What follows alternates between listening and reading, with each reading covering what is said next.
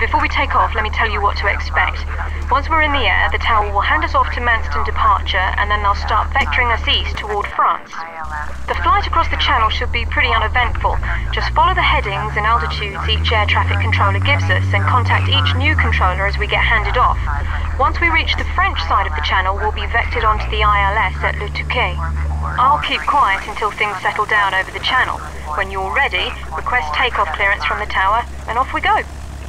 118.475, orbit 4433.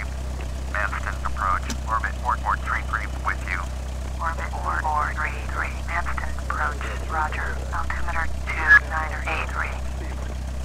Manston Tower, Cessna, November 700, Mike Sierra at runway 28, ready for takeoff. IFR to the 2 gate. Turn left, heading 130, descend and maintain 2,500. Expect vectors ILS, runway 28, approach, Viper, Quebec, Whiskey, November.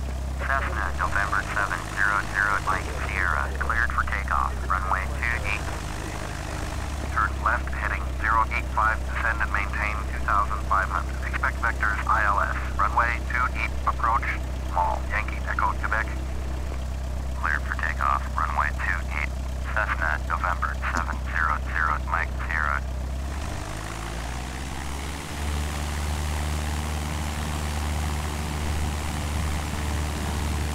Orbit 4433, contact London Center on 118.475. Going at 118.475, orbit 4433.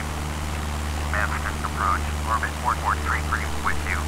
Orbit 4433, Manston approach, roger, altimeter 2983. Viper, Quebec, Whiskey, November, drop 6 o'clock, 4 miles at 300, Cessna Skyhawk, appointment site, orbit 4433, contact London Center on 118.475. Going at 118.475, orbit 4433. Manston approach, orbit 4433 with you. Orbit 4433, Manston approach, roger, altimeter 2983. Orbit 4433, contact London Center on 118.475. Viper, Quebec, Whiskey, November, have the traffic. 118.475, for orbit 4433. Manston approach, orbit 4433 with you, 10,000. Orbit 4433, Manston approach, roger, altimeter 2983. Cessna 0 Mike Sierra. Contact Manston departure on 119.925. 119.925. Cessna 0 Mike Sierra. Manston departure. Cessna November 700 Mike Sierra is at 800, climbing 3000. Cessna November 700, Mike Sierra, Manston departure, roger, altimeter 2983. Cessna 0, Mike Sierra, turn right heading 170, proceed on course, climb and maintain 3000. Cessna 0, Mike Sierra, you are 49 miles north, turn right heading 175, climb and maintain 3000. Expect vectors ILS, runway 14, approach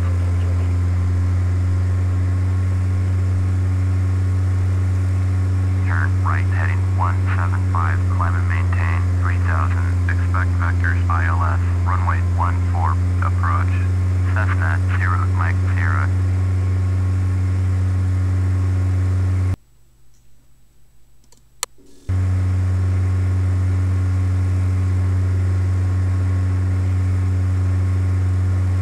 Orbit 4433. Contact London Center on 118.475. Going at 118.475, orbit 4433.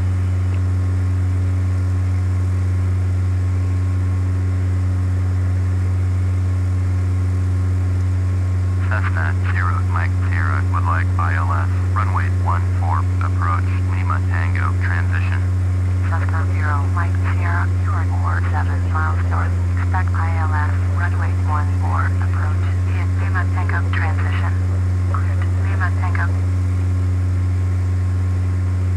Quebec ILS, runway 14, approach Fiat Lima Tango, transition. Clear to Lima Tango, Cessna 0, Mike Sierra. Manston, approach Beach Foxtrot Juliet, November Hotel Juliet, Manston, approach, roger, altimeter 2983. Long, Yankee Echo Quebec. Turn right, heading, Manston. Orbit 4433, Manston, orbit 4433. 118.475 for orbit 4433.